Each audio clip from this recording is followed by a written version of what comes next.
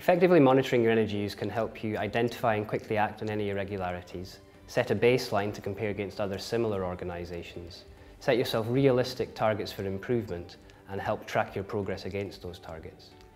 To help you begin to do this, Resource Efficient Scotland has a free online spreadsheet tool which you can download and tailor however you might like to make it most suitable for your organisation. The spreadsheet offers a simple way to collate your energy usage data and purchase costs and to begin to analyse that consumption. So let's take a look at the spreadsheet. Our first page is an introduction to the five main worksheets in the tool and what they're for. You'll also see our contact details if you'd like to chat over how to use the tool, or indeed if you want to talk about any other areas of resource efficiency.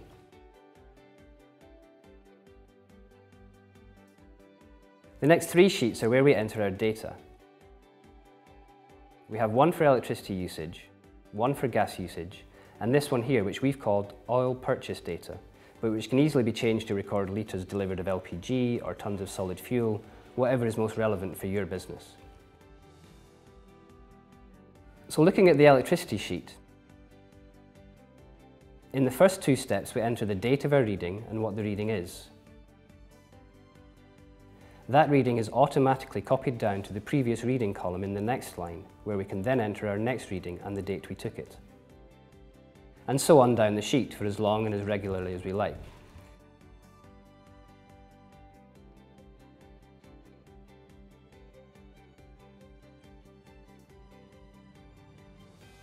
Now, you might just take these figures from your electricity bills quarterly or monthly, or you might take your own readings much more regularly. Generally, the more often you take and record readings, the more detailed analysis you'll be able to carry out. Then in step three, we have the option of entering a key performance indicator, or KPI for short, which we recommend you assess your energy performance against. In this example, taken from a restaurant, the KPI is the average number of covers per day in the week between these two dates. Other KPIs you might choose to use instead could be staff numbers, sales turnover, or production output, whatever is a relevant measure of performance for your organisation. So when we now look at the first of the analysis tabs on the spreadsheet, the tool automatically takes the data you have entered and plots it into graphs for you to analyse. We see here quite a large fluctuation in the actual daily electricity use, so it looks like performance has been particularly good at this point here. But when we look at the graph on the final tab, which factors in the KPI information we entered, we see much less of a fluctuation.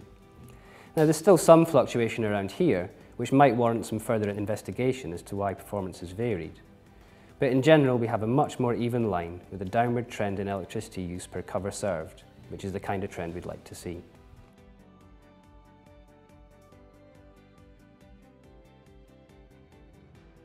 The gas and oil usage sheets work in much the same way,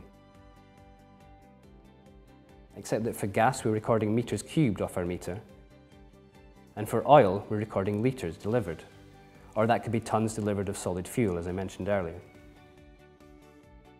If you want to, these units can be relatively easily converted into kilowatt hours of energy by looking up the relevant calorific value, which is a set figure for the amount of energy stored in one litre of oil, for example. And as with the electricity usage, the analysis tabs automatically produce graphs based on the data you've entered. All of these graphs, as well as being used for analysis of your performance, can be printed off and posted on notice boards for communication to staff, or used to present to management when discussing energy use and potential improvements. So there we have it, a quick run through of our easy to use tool to help begin to monitor and understand your energy use and take the first steps towards becoming more resource efficient. Thanks for watching.